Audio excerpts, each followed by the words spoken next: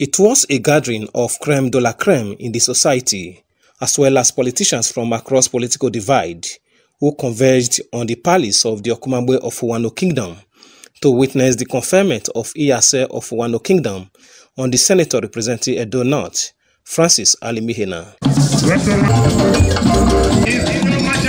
The arrival of the traditional rulers in Edo North to the arena and the honoree signaled the beginning of activities as the Okumagbe of Wano Kingdom described the Iyase as the traditional prime minister of the clan, who is next to him on the throne.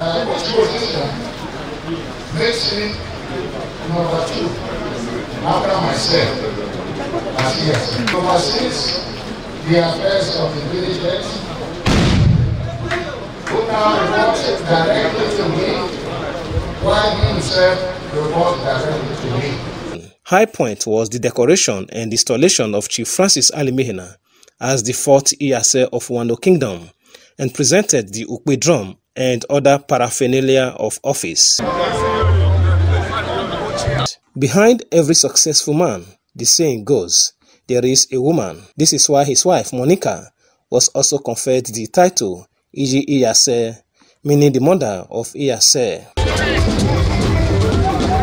Activities later shifted to Igiode, the hometown of the senator for reception, with some of his colleagues at the National Assembly and former governor of Edo State, Adams Oshiomhole, in attendance, with Chief Mike Ozekhome, who chaired the event.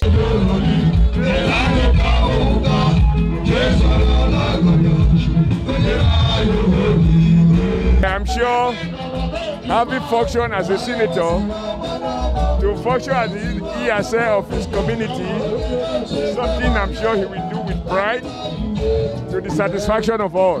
His functions include galvanizing all the Ikpe Ikpe, that's the Ukpi drummers of all the various towns and villages in Uwanno Kingdom.